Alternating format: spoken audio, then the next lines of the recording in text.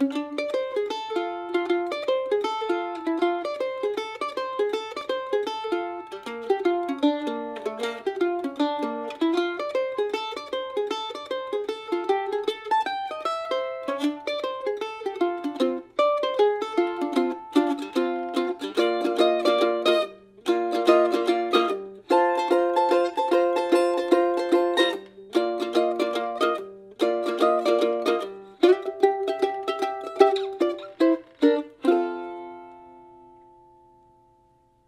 folks, welcome to the Tune of the Week. Thanks for joining me this week. We've got a classic Frank Wakefield tune, uh, one called Rondo, that he says he wrote in 1961. A short little tune in the key of F, but uh, nonetheless, it's got some fun ideas and it's a really cool representative piece of Frank Wakefield's playing. So I'm getting this specific transcription from the Frank Wakefield and Leon Morris recording, uh, but there's a number of resources out there for you to hear him play this tune and it's a little different each time, so I just encourage you to go check that out. All right, so let's go ahead and dive in. This is Rondo. All right, so let's go ahead and dive in here. Uh, like I said, we're in the key of F, and this tune primarily plays out of this F octave shape. So mostly closed position, although we're going to use the open A and the open D quite often. Um, but for the most part, our guide here is going to be our first finger on the third fret, so that's our general position. Uh, we start out with these pickup notes, which is just going to be climbing from the 5th to the 7th fret, that's the D, or the 6th tone of the F scale. And everything is in the tab in the description below, so make sure to check that out if you need it. I always encourage people to learn by ear first, or even visually by watching. But if you need the tab, it's got all the pick strokes and all the fingerings. Okay, so we're going to climb into this uh, D note here just like that. And that D is going to be the first beat. So one, two, three, four. Now starting on this D, the first phrase of the tune is going to sound something like this.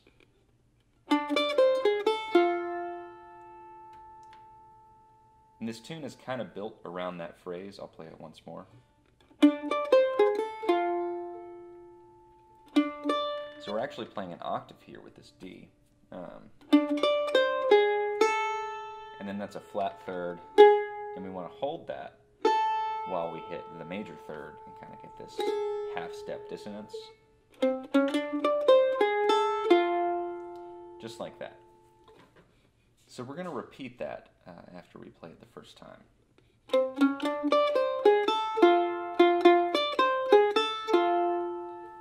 On the repeat, instead of playing that D note, we're just going to hit this F twice, up, down. So one pickup note up, and then down on the downbeat on the F. So all together now, that sounds like this.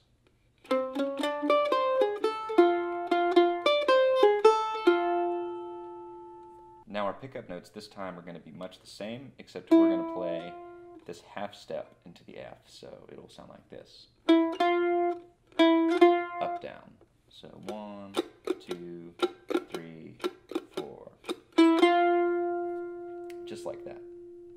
Now this time we're going to keep the pattern going, uh, and that's going to sound something like this.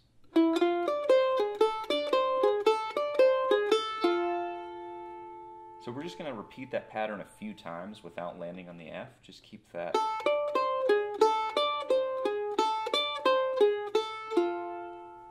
Keep that idea going uh, three times in total, I guess. So that's going to sound like this. One, two, three, four.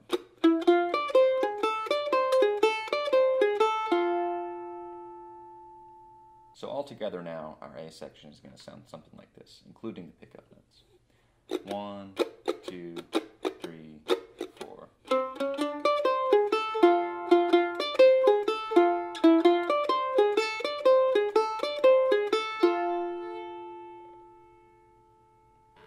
most of the way through. Now we're going to switch to the four chord, which is the B flat. And we're really just going to take this pattern down to the G and the D strings. So it's going to sound something like this.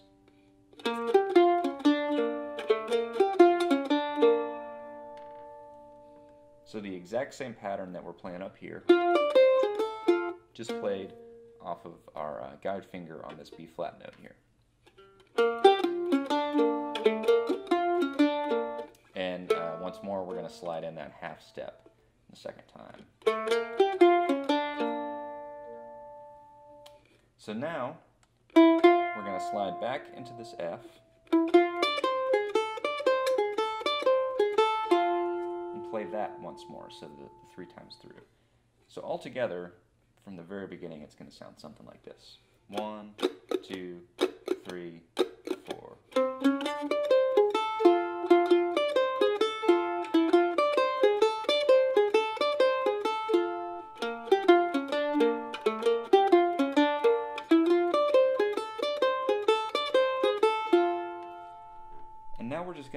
5 chord, which is the C. And in doing that, we're going to go to the 6th of the 5 chord, just like we went to the 6th tone at the beginning, we're going to play the 6 of the 5. And moving that around on the mandolin, just being tuned in fifths, we're just going to take it this way. So we're going to play just like that, like at the very beginning, uh, but on the D, A, and E strings. And then we're going to go back to that sixth tone of the F note by playing the D note here on the G string. And that's our ending. So we're going to catch that G on the way down. And then just go down like that. So after playing this last phrase, we're going to play this tag, which is going to sound something like this. So that's just starting here with our uh, middle finger on the D note. Pretty much the same set of notes we've been using for this whole song, uh, just phrased a little differently, uh, but I'll play it once more.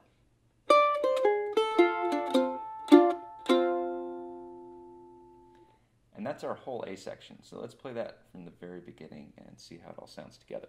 One, two, three,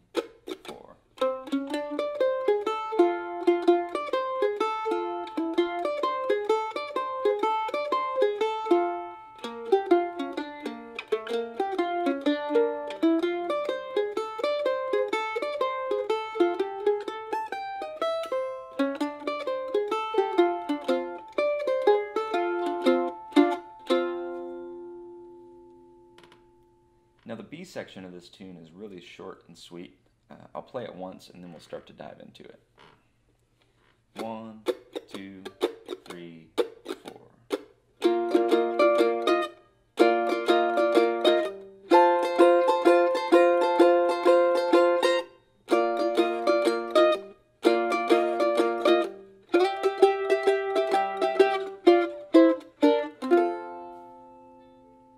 B section is really just built out of these chords. Uh, the first being this B flat chord. And then we're going to go back to this F, uh, which with this F chord, it's a little less common, but I'm just taking this open D and sliding it up three frets. Uh, and then we're going to play the C chord. So that's pretty much what this whole section operates out of. Uh, and I'll play it once. Fingering wise, you can do a couple of things. Um, I'm doing this, I'm barring the third fret with my index finger and fretting here on the fifth fret with my middle finger, but you could play it like that, like if you were to play this chord. Um, but for the sake of this tune, it makes a little more sense to me to play like this because our uh, melody is going to go like this.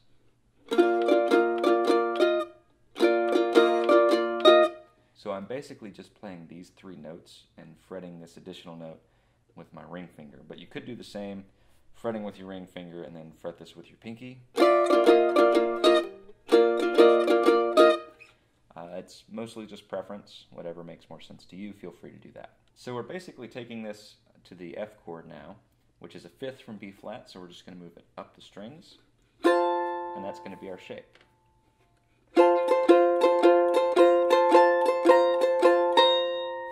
Just like that. So now we're going to go back to B flat and play the same idea once more.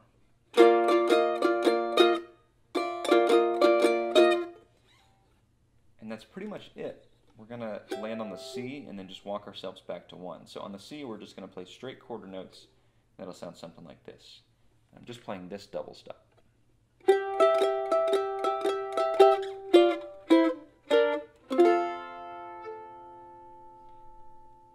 I'll play that once more. I'm just walking this double stop down a whole step, and playing this C, and fretting the open D and the B flat note, and then a nice open F chord.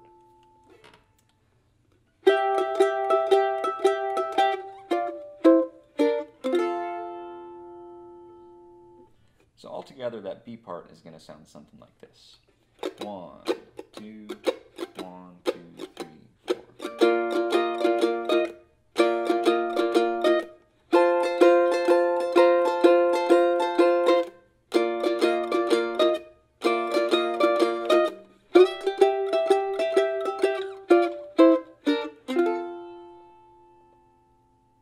couple of important notes about this tune.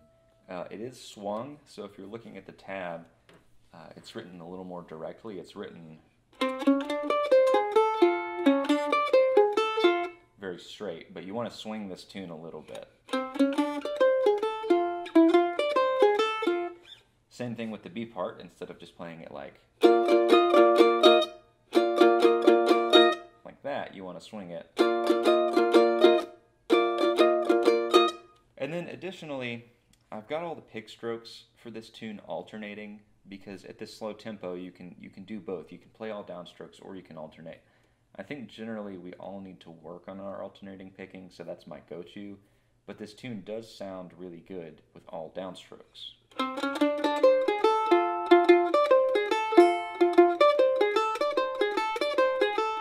Even the B part.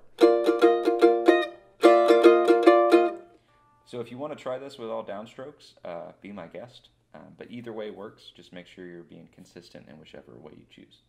Well, thanks for joining me. Make sure to come back every Saturday. There's a new mandolin tune of the week.